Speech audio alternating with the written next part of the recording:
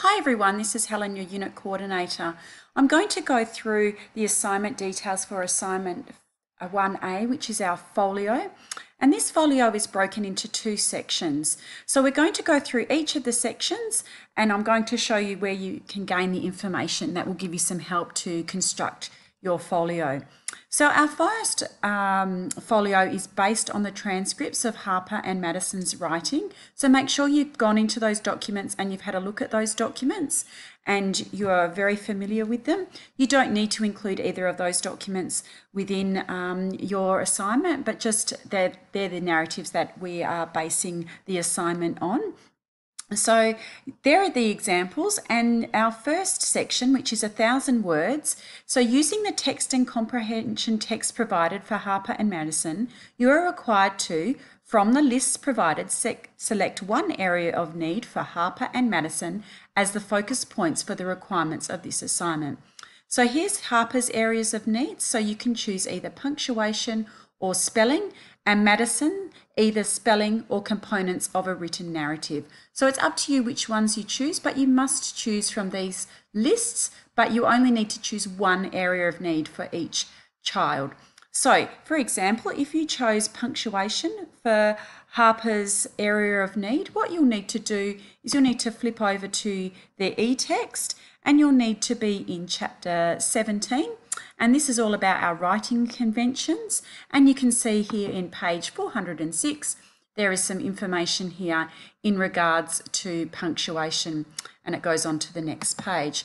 Now make sure that if you choose the area of need that you are explaining the area of need and you're also drawing some examples back from the writing samples that you have seen back here in these documents here. So depending on which area of need you choose, you need to make sure that you are certainly uh, giving some examples from those documents, but also giving some explanation about that area of need. If you chose spelling, you would go back into your e-text again, and in chapter 18, uh, here it is here, spelling and handwriting. Lots of information here in regards to spelling, all about um, the, the types of spelling, um, and children's spelling development. So lots of information in regards to spelling there. So that's a really good chapter to have a look at. So that is for Harper. So you can either choose punctuation or spelling.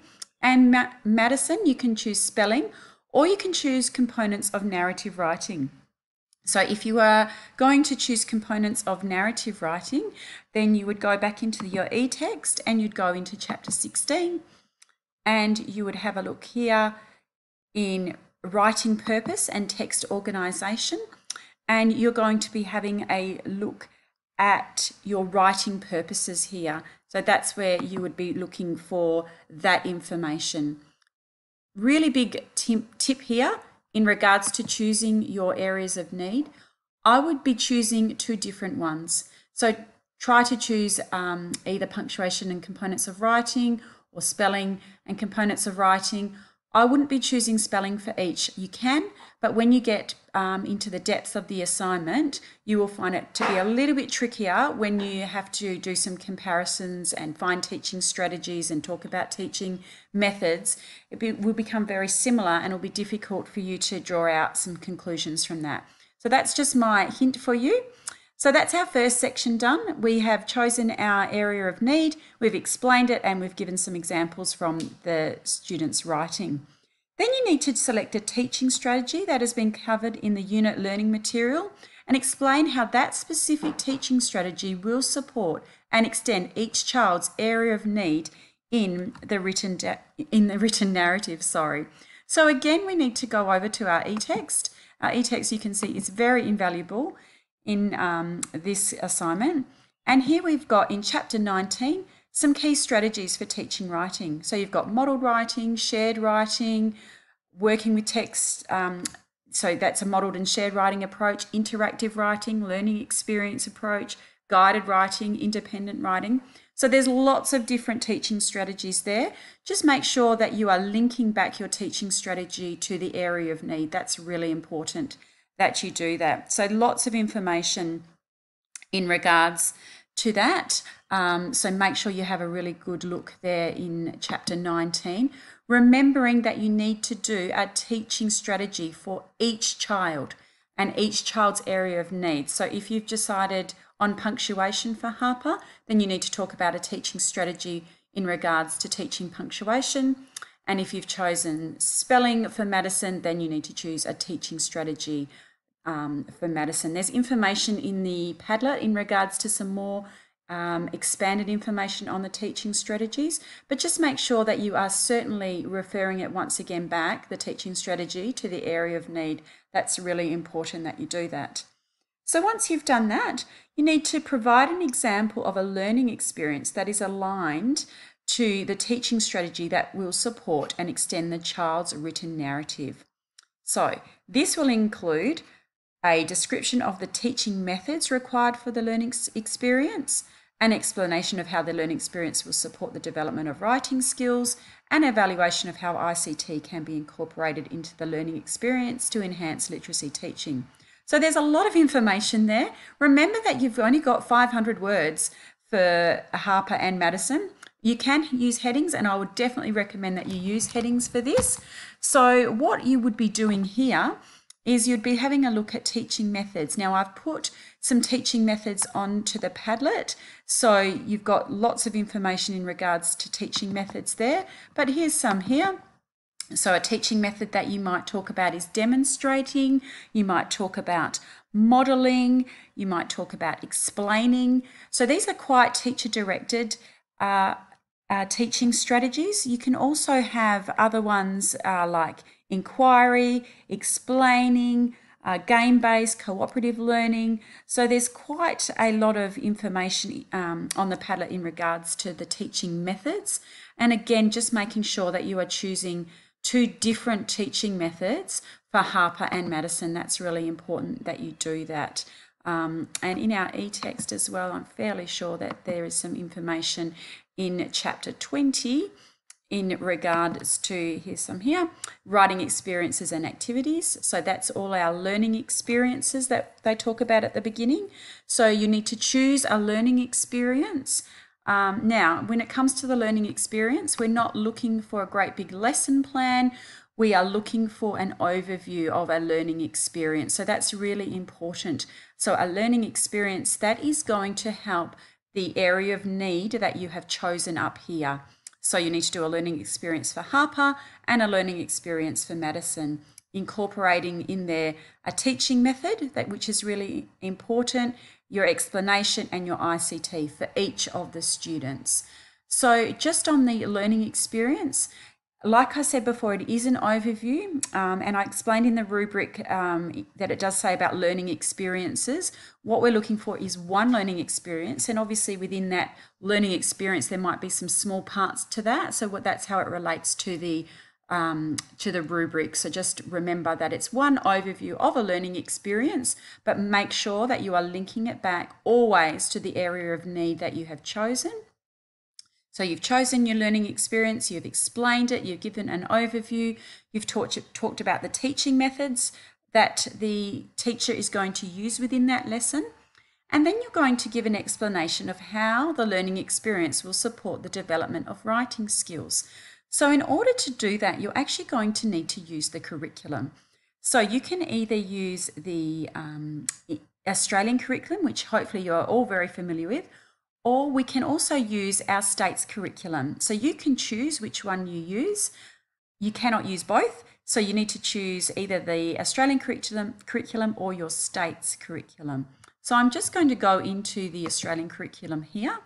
So here's our Australian curriculum and this is our English and I've gone into year two because year two is the year level that both uh, Harper and Madison are at. Now, just remember that because we are choosing at some areas of need, Harper and, and Madison don't necessarily have some learning problems or anything like that. We're just choosing some areas that we as a teacher can help to focus on. So if I've chosen a learning experience to do with spelling, here's a phonics and word knowledge descriptor here. So what I would do is I would choose one, one or two of those descriptors that might fit in with my learning experience. I would include the whole um, descriptor there as long along with the code as well. That's really important that you include the code because then we know that you've actually looked it up and you are starting to gain that understanding of the curriculum. So you might choose that. Um, maybe you're doing something to do with text structure and organization. So that might be possibly your, um, your area of need, your components of a written narrative that you may have chosen there. And so, or you could have chosen punctuation there. So there are your descriptors there. Again, use your whole description descriptor plus the code. So this is the Australian curriculum. I'm going to flick over to my state's curriculum, which is WA, which is a bit exciting. And I've jumped to year two as well. And I've had a look here in, um, I've got language, literature and literacy, and I'm having a look down and I'm seeing, oh, look, text structure and organisation, and I'm choosing a couple of those out of there that might relate. Uh, very similar to the Australian curriculum you can see. And again, whatever I choose, I'm just making sure that I'm including the content descriptor plus the code there as well. That's really important. So that helps hopefully to explain this part of how you're going to use your learning experience to support the development of writing skills. Because remember, as teachers, we always need to be purposeful in our teaching. So we always need to make sure that we are linking our learning experiences back to our curriculum in order to show how we are achieving those outcomes in the curriculum. So hopefully that part is clear.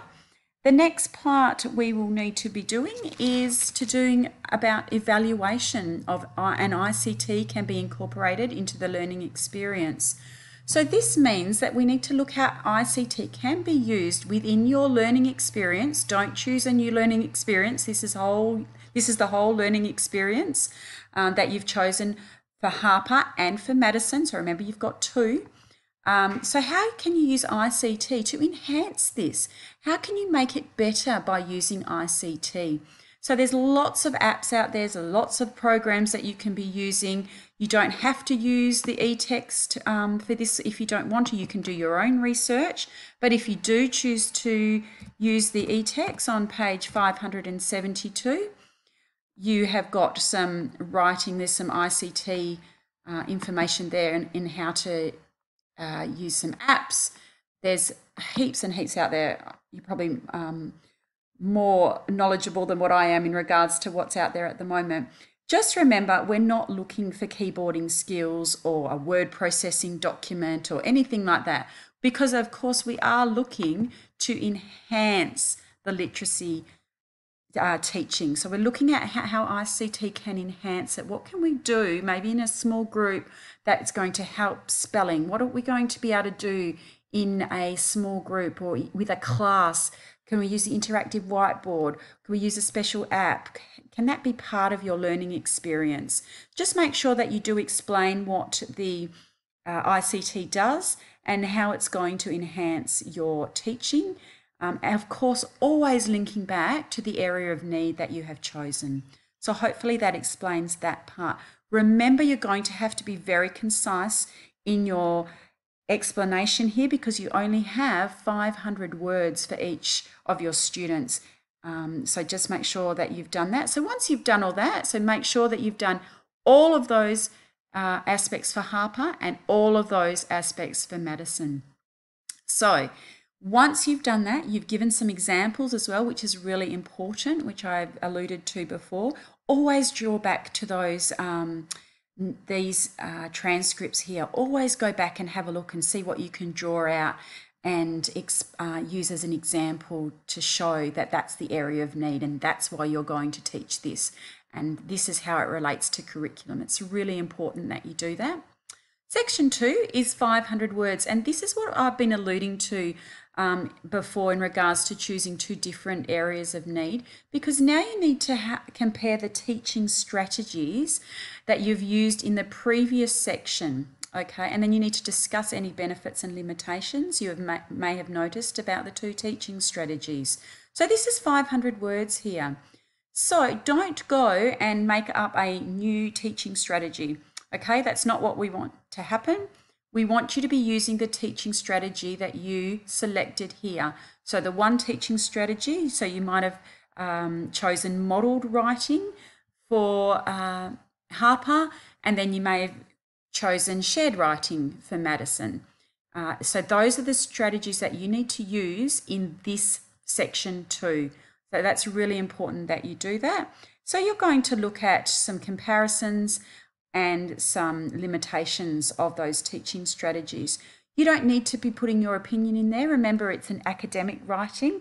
So you need to make sure that you're using your academic literature, um, but you're drawing off some uh, benefits. So you might have, say, um, modelled writing where it's very teacher directed.